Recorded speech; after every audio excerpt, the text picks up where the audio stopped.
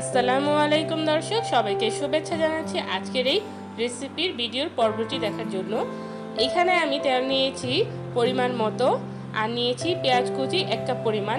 আর আজকে আপনাদেরকে তৈরি করে দেখাচ্ছি আমি জালি কুমড়ো দিয়ে গরু গোস্তর ঝোল, আর এই খাবারটি কিন্তু সচরাচর খুবই খুবই প্রাধান্য পেয়েছে। আর এটা কিন্তু খেতেও অসাধারণ একটি খাবার।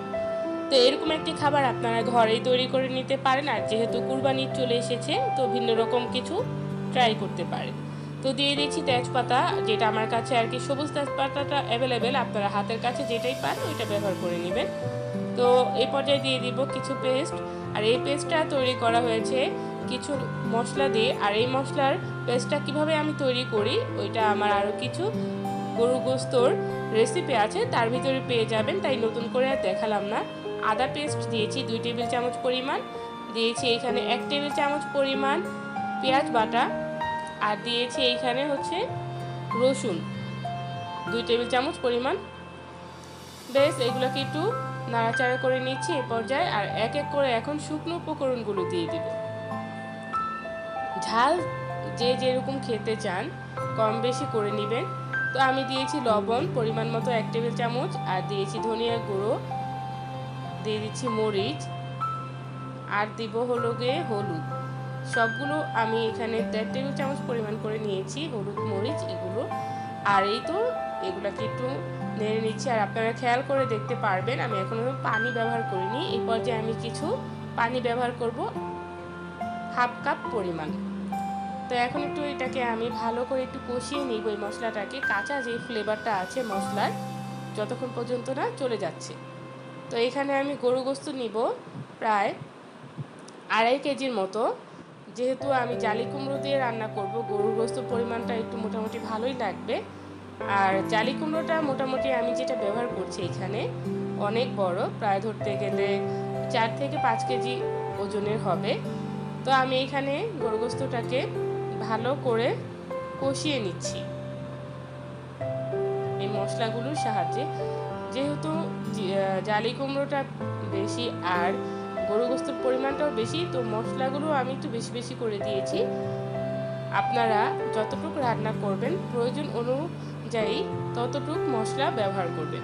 তো খুবই সুন্দর একটি কালার এসেছে মশলাগুলো আর গোস্তের কালারটা দেখেই আপনারা বুঝতে পেরেছেন।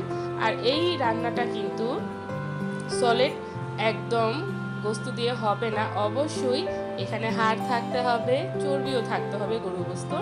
তো সব মিশিয়ে থাকতে হবে এখানে, সব মিলিয়ে ঝিলিয়ে। তো দেখতেই পাচ্ছেন, তেল উঠে গেছে।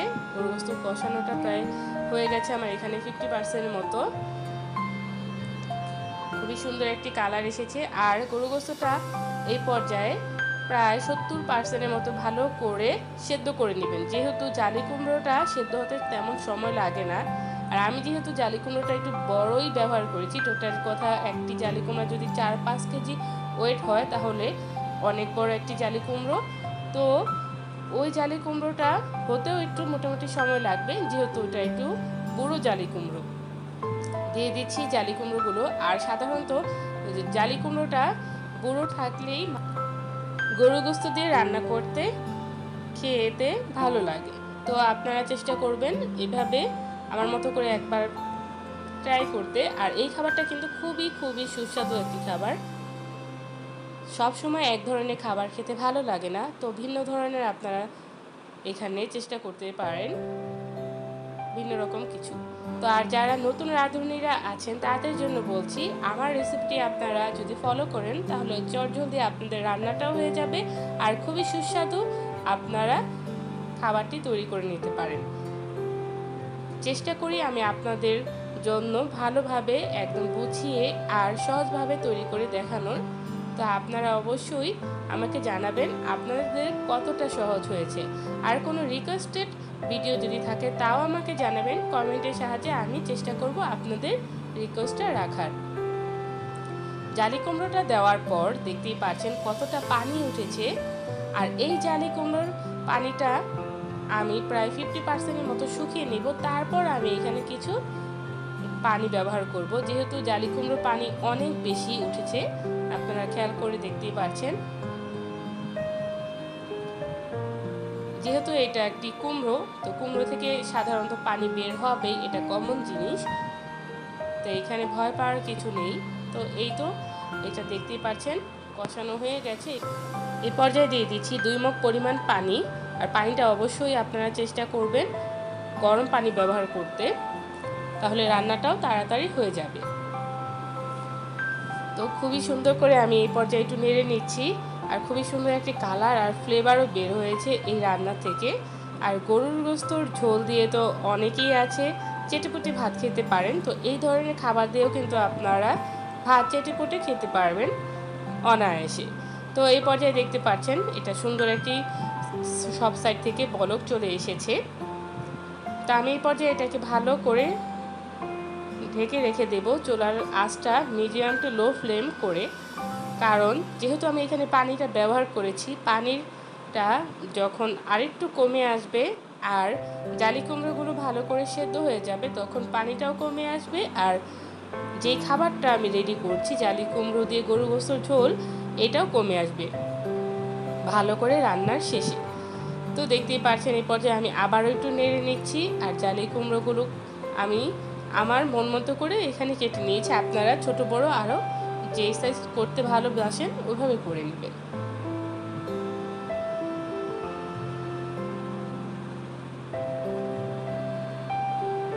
এই পর্যায়ে আমি কিছু কাঁচামরিচ দিচ্ছি, আট থেকে নয়টি।